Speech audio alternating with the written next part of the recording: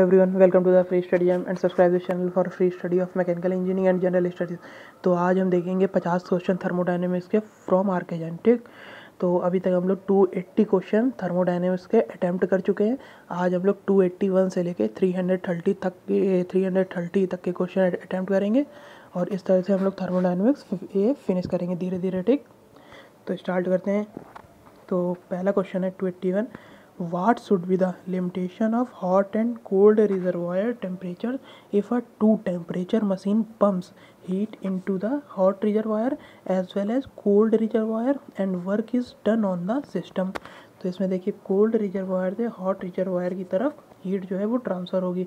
तो आपका जो कोल्ड रिजर्वायर होगा, वो होगा पॉजिटिव ए वो होगा पॉजिटिव टेम्परेचर ठीक? तो इसका करेक्ट ऑप्शन होगा ए ए पार्ट ठीक? तो 281 का है आपका करेक्ट ऑप्शन ए पार्टी इसके बाद 282 है। What are the limitations to the signs of heat exchange from hot and cold reservoirs if a two temperature machine operates between two positive temperature be abstracted from hot source मतलब जिसका temperature ज़्यादा होगा, वहाँ से heat abstract होगी और जिसका temperature low होगा, वहाँ पे हीट वो होगी, क्या होगी? रिजेक्ट होगी, ठीक? मतलब हाई टेम्परेचर से लो टेम्परेचर की तरफ़। सो करेक्ट ऑप्शन होगा बी पार्ट इसके बाद 283 है what which is the wrong assumption for calculation of air standard efficiency all processes are reversible सही है। Specific heat remains constant at all temperatures ये भी सही है। No account of the mechanism of heat transfer is considered ये भी सही है। Gases dissociate at higher temperatures ये गलत है। और working substance is a perfect gas ये भी सही है ठीक? सो so, आपका इसमें करेक्ट ऑप्शन हो जाएगा डी पार्ट इसमें इसने रॉन्ग एजम्पन पूछा था। इसके बाद टू एट्टी फोर है। What are the limitations to the signs of heat exchange from hot and cold reservoirs if a two temperature machine operates between two negative temperature तो देखिए अगर दोनों ही निगेटिव टेम्परेचर पे हैं तो उसमें लिमिटेशन कोई भी मतलब उसमें लिमिटेशन नहीं है ठीक? तो करेक्ट ऑप्शन हो गया ई पार्ट इसके बाद टू एट्टी फाइव है. An ideal gas at twenty seven degree centigrade तो आपका टी हो गया थ्री हंड्रेड कैलविन ठीक इसके बाद क्या है? Heated at constant pressure pressure आपका कांस्टेंट है. It's volume becomes three time अगर V one equal to V है तो वी टू इक्वल टू हो गया थ्री वी ठीक अब इसके बाद इन्होंने टेम्परेचर पूछा है गैस का. तो इसमें आपको सीधे क्या करना है? V one by T one equal to V two by T two ठीक? तो यहाँ से आज तो यहाँ से आपका आ जाएगा, ये हो जाएगा थ्री वी तो ये तो T one three hundred three nine hundred तो आपका आ गया टी टू आ गया नाइन हंड्रेड कैलविन अगर डिग्री सेंटीग्रेड में देखेंगे तो आएगा तो आपका आएगा six hundred twenty seven degree centigrade ठीक? तो इसको आप लोग सॉल्व करिएगा। इसके बाद टू एट्टी सिक्स है according to Peltier Thomson effect तो ये है आपका when two dissimilar metals are heated at one and and cooled at other. EMF is developed proportional to difference of temperature at two ends, okay? So correct option is C part ये है आपका Peltier Thompson effect. इसके बाद 287 है all diesel cycle except slow speed engine use following cycle dual cycle ठीक? जो आपका dual cycle होती है, ये इस, ये होती है, इस इस तरह से, ठीक? मतलब कि एक मतलब हीट जो ऐड होगी, इसमें सप्लाइड होगी, वो पार्सली कांस्टेंट प्रेशर और कांस्टेंट वॉल्यूम दोनों पर होगी, ठीक?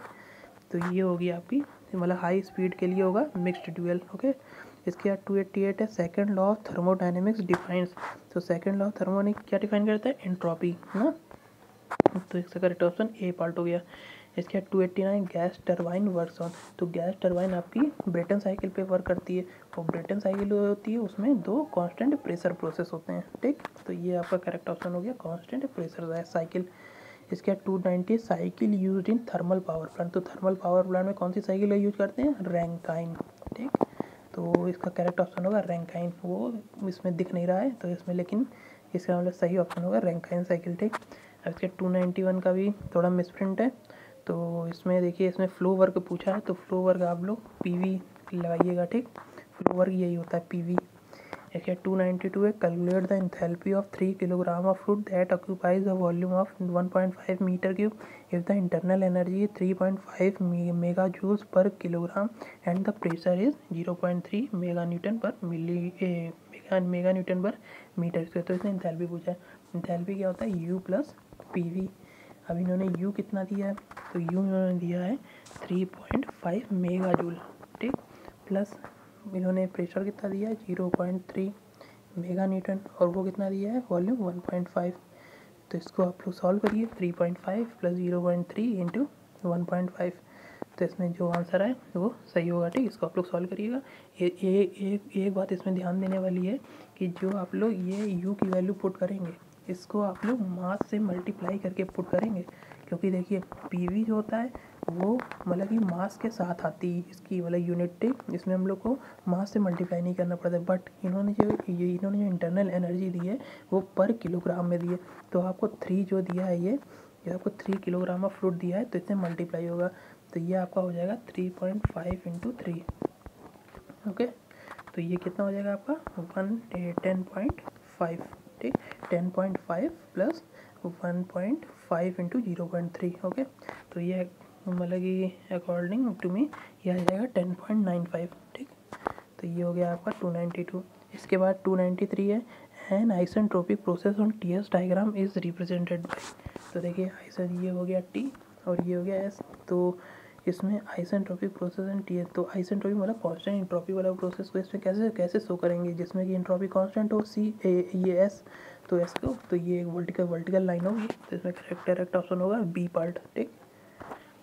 इसके बाद 294 है expansion in nozzle is a तो जो एक्सपेंसन है नोजल है वो एडियाबेटिक प्रोसेस होता है, ठीक? Correct correct option is C part इसके बाद 295 है air standard efficiency of a diesel cycle is dependent upon वो स्पेसिफिक हीट पे वो ratio of specific heat gamma पे डिपेंड करती है। कट ऑफ़ रेशियो पर भी डिपेंड करती है और कंप्रेशन रेशियो पर भी डिपेंड करती है। तो करेक्ट ऑप्शन होगा D part all of the above इसके बाद 296 है। A system will be in thermodynamic equilibrium only if it is in thermal equilibrium mechanical equilibrium chemical equilibrium तीनों ही इक्विलिब्रियम में होना चाहिए। So correct option is D part इसके बाद टू नाइन्टी सेवन है। Choose the correct statement a property of a system जो property होती है सिस्टम की, वो पॉइंट फ़ंक्शन होती है। तो इसमें करेक्ट ऑप्शन होगा ई पार्ट इसके बाद टू नाइन्टी एट है। Entropy is called the property of a system because तो एंट्रोपी को हम लोग प्रॉपर्टी ऑफ़ अ सिस्टम क्यों बोलते हैं? क्योंकि it has a single value at each equilibrium state ना। दो दो आइसेंट्रोपिक लाइन एक दूसरे को इंटरसेक्ट नहीं कर सकती हैं। ठीक? तो ये हो गया। इसके बाद ये हो गया सी बाल्ट इसके बाद टू नाइन्टी नाइन है isothermal compressibility of of a substance is denoted by तो आइसोथर्मल कंप्रेसिबिलिटी को किससे डिनोट का मतलब उसका फॉर्मूला क्या होता है? One by V del V by del P at constant temperature इसके बाद three hundred average coefficient of volume expansion तो ये क्या होता है? One by V del V by del T at constant pressure okay इसके बाद थ्री हंड्रेड वन है आइसोथर्मल बल्क मॉडल्स तो बल्क मॉडल्स तो आपको पता ही है चेंज इन टेम्परेचर ना? Divided by change in volume into volume तो देखिए ये फॉर्मूला कहाँ पे दिया है? ये दिया है ई e पे, ठीक? तो correct option is E part इसके बाद 302 है। Temperature of the order of minus one fifty degree centigrade can be accurately measured by तो इसको मेज़र करेंगे गैस थर्मो गैस थर्मोमीटर से, ठीक? So correct option is C part इसके बाद 303 है. When two gases when two gases suddenly mix up with each other then resultant entropy of the system देखिए, अगर दो गैसों को हम सडनली मिक्स कर दें तो ना क्या होगा? डिसऑर्डर उनका मतलब कि जो ऑर्डर होगा, वो मतलब कि वो मतलब इंक्रीज हो जाएगा डिसऑर्डर ना तो तो इंट्रॉपी क्या होता है? डिग्री ऑफ़ डिसऑर्डरनेस, ना? तो इसकी इंट्रॉपी क्या होगी? इंक्रीज कर जाएगी, ओके? सो क्या correct option is B part ये यही आपका तब होगा जब हॉट वाटर और कोल्ड वाटर को मिक्स करेंगे। तो थ्री हंड्रेड फोर क्वेश्चन यही है तो इसमें भी इंट्रॉपी आपकी इंक्रीज कर जाएगी, ओके? इसके बाद थ्री हंड्रेड फाइव है when a process undergoes a complete cycle then the then the change of entropy will be मतलब ये साइकिल हो गई है, ठीक? मतलब कि रिवर्सिबल प्रोसेस हो गया है। और रिवर्सिबल प्रोसेस के लिए जो इंट्रॉपी चेंज होगा, वो कितना होगा? ज़ीरो ठीक? करेक्ट ऑप्शन है सी पार्ट इसके बाद 306 है। If air is compressed area adiabatically from atmospheric condition in a cylinder having compression ratio of six then pressure at the end of compression shall be तो ये कितना होगा? मोर देन सिक्स एटमॉस्फेरिक इस six atmospheric pressure ना मतलब कि area बेटिकली हो रहा है ना तो इसमें क्या फॉर्मूला लगेगा पी वी की पावर गामा ना तो इसमें क्या होगा? More than six atmospheric pressure इसके बाद थ्री हंड्रेड सेवन है a process which undergoes energy loss due to friction तो जिसमें energy loss due to friction हो रहा है, वो प्रोसेस इरिवर्सिबल होगा। ठीक? तो correct option is D part इसके बाद थ्री हंड्रेड एट है which of the following is extensive property तो एक्सटेंसिव प्रॉपर्टी मतलब कि which depends on the mass ठीक? तो डिपेंड्स ऑन द मास कौन सी है? Entropy internal energy kinetic energy energy तो जितनी भी हैं, सभी एक्सटेंसिव प्रॉपर्टी होती हैं, ठीक? तो एनर्जी और इंट्रॉपी ये सभी हैं। तो correct option is E part three hundred nine है। Which of the following is not an extensive property तो मतलब कि कौन सी इंटेंसिव प्रॉपर्टी है? मतलब कौन सी इंडिपेंडेंट ऑफ़ द मास है? तो वो हो गई आपकी डेंसिटी ठीक? So correct option E part हो गया। इसके बाद थ्री हंड्रेड टेन है। The cyclic integral of del Q minus del W for a process is equal to देखिए del Q minus del W क्या होता है? वो होता है आपका इंटरनल एनर्जी है ना? तो साइक्लिक साइक्लिक इंटीग्रल के लिए इंटरनल एनर्जी क्या होगी? ज़ीरो तो इसमें करेक्ट ऑप्शन होगा सी पार्ट इसके बाद थ्री हंड्रेड इलेवन है तो del Q minus del W मतलब कि ये इंटरनल एनर्जी की बात कर रहा है। For ideal gases is dependent on temperature only so correct option is B part three hundred twelve internal energy and enthalpy of an ideal gas are function of तो internal energy and enthalpy of an ideal gas function होती हैं सिर्फ़ temperature की। ठीक correct option is A part इसके बाद three hundred thirteen process occurs spontaneously if if its entropy तो अगर उसकी इंट्रॉपी इंक्रीज करेगी, तब प्रोसेस अगर्स स्पॉन्टेनियसली ठीक, इसके बाद three hundred fourteen the area under curve on T S diagram represent था तो वो एरिया जो होता है अंडर टी एस डायग्राम में, वो रिप्रेजेंट करता है heat transfer for reversible processes ठीक correct option is C part इसके बाद थ्री हंड्रेड फिफ्टीन है गिब्स फ्री एनर्जी की इक्वेशन क्या होती है? वो होती है G equal to H G equal to H minus T S इसके बाद हेल्मोट्स फ़ंक्शन की क्या होती है? वो होती है F equal to U minus T S okay इसके बाद है if M one M two M three be molecular weights of constituent gases and M one M two M three their corresponding mass fraction then the molecular weight capital M of the mixture is equal to तो क्या होगा इसका? इसका होगा E part ठीक one by small M one by capital M one plus small M two by capital M two और इसी तरह से जितने भी आपके मतलब कि वो होंगे गैस होंगी ठीक इसके बाद थ्री थ्री हंड्रेड एट्टीन है two gases with their molecular weight twenty eight and forty four expand at constant pressure through the same temperature the ratio of quantity of work done तो देखिए, अगर हम इसमें मान लीजिए जिसका जिसका मोलिकुलर वेट ट्वेंटी एट है, उसको हम मान लीजिए ए गैस ठीक? तो उसमें वर्क डन कितना होगा? पी इंटू डेल्टा वी अब पी वी को हम क्या लिख सकते हैं? एन आर डेल्टा टी, ठीक? अब एन को हम लोग क्या लिख सकते हैं? Small M by capital M ठीक? R delta T. अब इसमें इसमें जो कैन जो आपका डिनोमिनेटर में मोलिकुलर वेट ये हमें पता है ट्वेंटी एट मतलब कि जो वर्क डन आ रहा है, वो इन्वर्सली प्रोपोर्शनल आ रहा है मोलिकुलर वेट के। तो इसमें क्या होगा? W A by W B inversely proportional तो ए का तो ए का कितना है molecular weight twenty eight B का फोर्टी फोर तो ये कितना हो गया?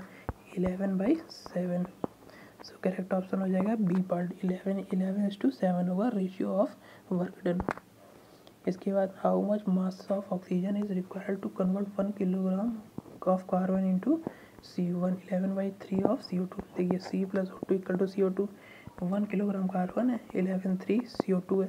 तो ये कितना होगा?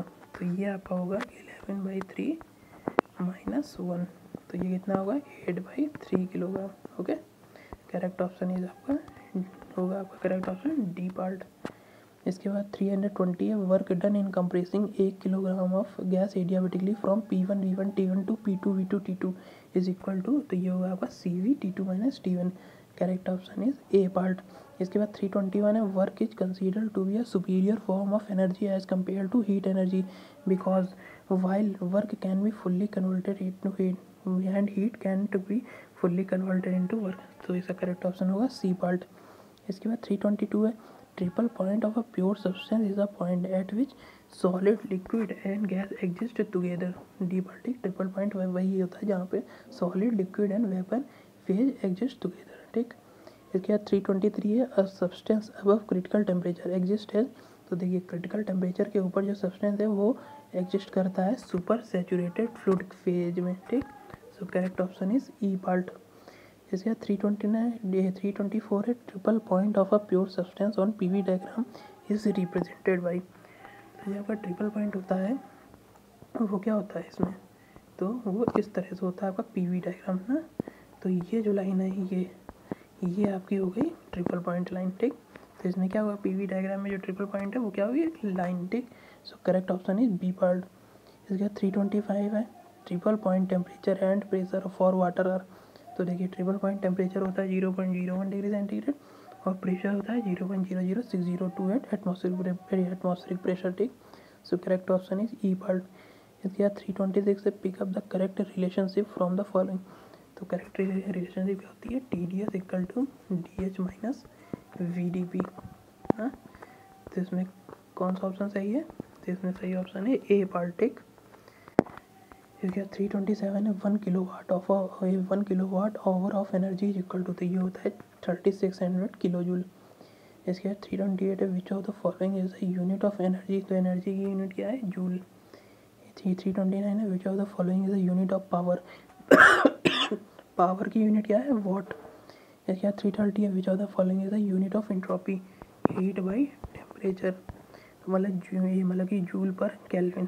ठीक? So correct option is B part तो ये हो गए आपके फिफ्टी क्वेश्चन ठीक अब इसमें हम नेक्स्ट लेक्चर में देखेंगे थ्री थर्टी वन से लेकर थ्री एट्टी तक और इस तरह से हम लोग इसको फिनिश करेंगे. So thank you guys and subscribe this channel